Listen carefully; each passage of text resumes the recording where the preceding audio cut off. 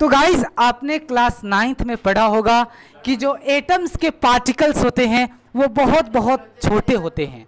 Atom particles are very very small तो आज हम लोग इसे एक्सपेरिमेंट के थ्रू समझेंगे कि कितने छोटे होते हैं, इतने छोटे होते हैं, इतने छोटे होते हैं, लाखों, करोड़ों, अरबों टुकड़े हो जाएँगे। फिर भी वो मतलब कि एंड उसका नहीं होगा। ठीक है? देखते हैं फिर। कितने छोटे, बहुत छोटे होते हैं। उसका हम लोग आज डिफाइन करने वाले हैं। पहले पानी तो लाओ इसमें पानी तो भरा है ही नहीं। पानी भरा? ओ माय गॉड पहले चारों गिलास को हम क्या करते हैं? फुल कर देते हैं वाटर से। इसमें भी वाटर।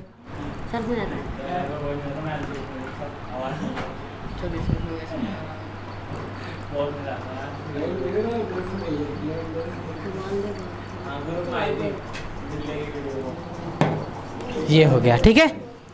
अब हमें क्या करना है गाइस देख लीजिए, ये फोर ग्लास हैं और सपोज़ आप मान लीजिए कि इक्वल वाटर साइंस में, यानी कि H2O है वाटर का फॉर्मूला होता है H2O याद रखिएगा टू टू हाइड्रोजन के मोलिकुल्स होंगे और ऑक्सीजन के वन मोलिकुल होंगे।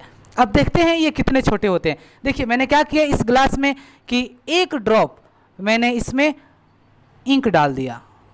ये एक ड्रॉप ठीक है?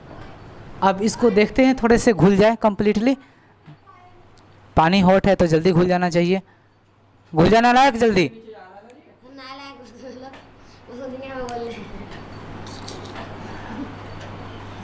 कंप्लीटली घुल जाए जल्दी से। वेट कर लेते हैं गाइज़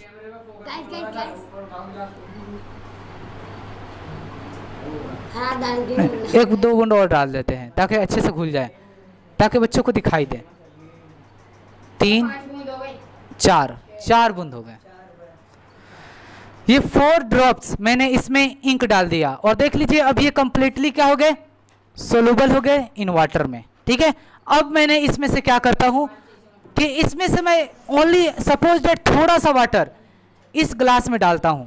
थोड़ा सा वाटर ये कंप्लीटली इसमें इंक घुल गए हैं। जैसे आपको दिखाई दे रहा है, अब इसमें थोड़ा सा हम वाटर डालते हैं। थोड़ा सा डालेंगे। यस मैंने डाल दिया। अब देख लीजिए इसमें इसमें जो है डार्क कलर है। और इसमें थोड़ा डालने पर ये क्या हो गया? ये लाइट हो गए। और इसके बाद फिर अब हम इसमें डालेंगे, ये इससे लाइट ये होगा।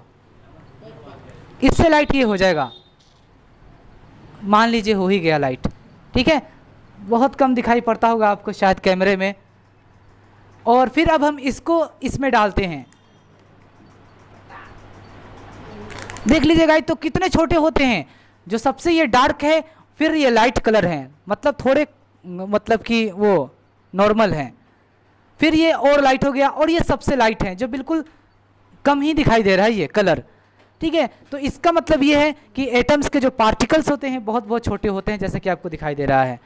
एक ड्रॉप ऑफ़ इंक को अगर आप थोड़े थोड़े सब में रखेंगे ना फिर तो ये लाइट होते चले जाएँगे ये ग्लासेस तो इसका मतलब ये है कि एटम्स के जो पार्टिकल्स होते हैं वेरी वेरी स्मॉल होते हैं।